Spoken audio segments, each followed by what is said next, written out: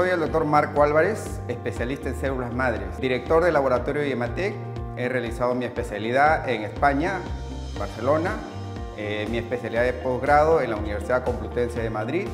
He realizado una rotación en el Instituto de Wake Forest de Medicina Regenerativa de Carolina del Norte de los Estados Unidos, eh, lo cual me ha servido para tener una amplia experiencia en lo que es el tema de células madres.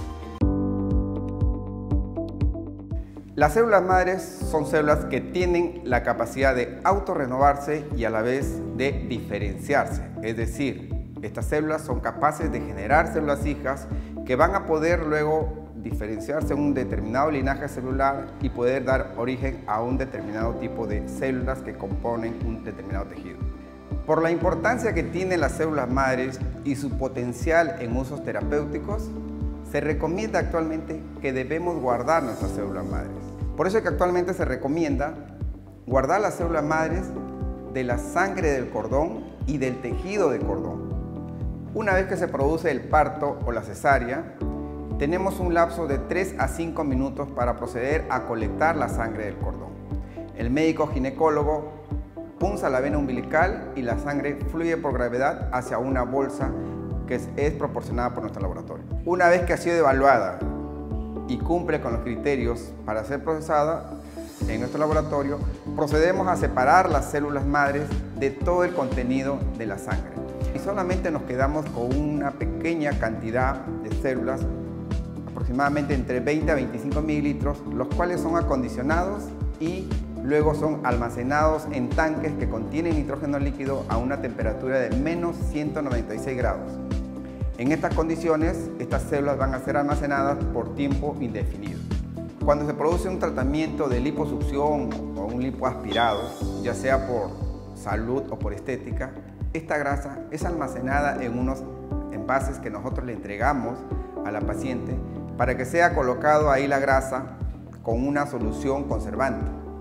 Una vez que se ha producido la colecta, se envía a nuestro laboratorio y en nuestro laboratorio procedemos a hidrolizar la grasa, a separar la grasa para que de esta manera las células madres puedan ser liberadas.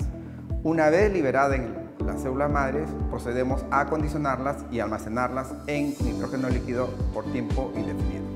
Las células madres que obtenemos de tejido adiposo son células madres mesenquimales y estas células mesenquimales tienen un potencial regenerativo para aplicarse en diversos órganos, ya sea en páncreas, en pacientes con diabetes, en hígado, en riñón, en corazón, así como las articulaciones. Cuando nosotros hablamos de células madres, tenemos que referirnos a dos tipos de células madres.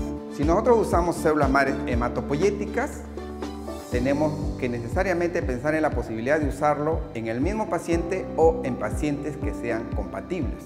Pero cuando usamos células mesenquimales, se ha visto que estas células no tienen capacidad inmunogénica, por lo tanto, no necesariamente tiene que ser compatible. En nuestro país, nuestra cultura de salud lamentablemente es curativa, tratar enfermedades que ya en el momento se han presentado. O sea, no tenemos la cultura de medicina preventiva. Prevenir es pensar en el futuro. Si ahora tenemos la posibilidad de guardar nuestras células madres, debemos hacerlo, porque no sabemos qué puede pasar de aquí a unos 10, a unos 15, a unos 20 años. Se ha visto que las enfermedades oncohematológicas se está incrementando. El promedio de vida en nuestra población se ha incrementado. Cada vez tenemos un promedio de vida más alto, pero lamentablemente necesitamos tener calidad de vida. Tenemos pacientes mayores pero también tenemos mayores casos de enfermedades oncológicas o de enfermedades oncohematológicas. Y para ese tipo de enfermedades podemos usar nuestras células madres para el tratamiento y de esta manera tener calidad de vida. Es así como surge la idea de formar un centro especializado en células madres, un grupo de profesionales entre hematólogos, inmunólogos, tecnólogos médicos, que decidimos formar esta empresa como Instituto de Hemaféresis y Terapéutica Celular para ofrecer tratamientos especializados en medicina regenerativa y trasplante de médula ósea en pacientes con la finalidad de brindarles calidad de vida.